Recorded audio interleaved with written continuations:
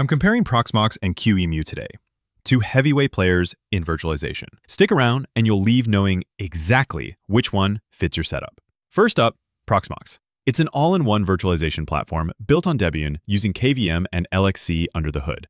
Perfect for sysadmins, teams, or home lab owners who want to manage VMs, containers, storage, networking, backups, and clustering, all through a slick web UI or powerful CLI. Proxmox just launched version 8.4 with some seriously cool upgrades.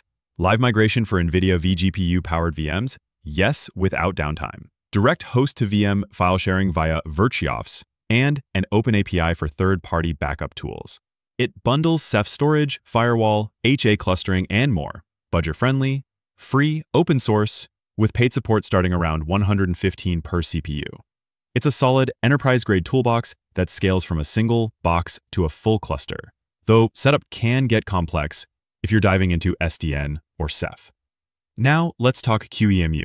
It's the low-level engine behind Proxmox, a powerful open-source emulator and virtualizer. QEMU lets you emulate entire machines across x86, ARM, RISC-V, and more, even run foreign architecture binaries. Use it standalone for flexible emulation, live snapshots, device pass-through, or pair it with KVM for near-native VM performance.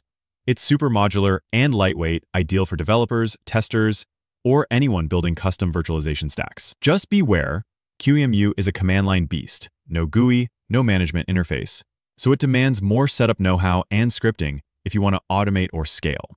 So, what's the difference? Proxmox gives you a polished integrated data center in a box. Web UI, clustering, backup, networking, HA, great if you want something turnkey. QEMU, on the other hand, is the raw virtualization engine. Flexible, cross-platform, perfect for custom setups or embedded use.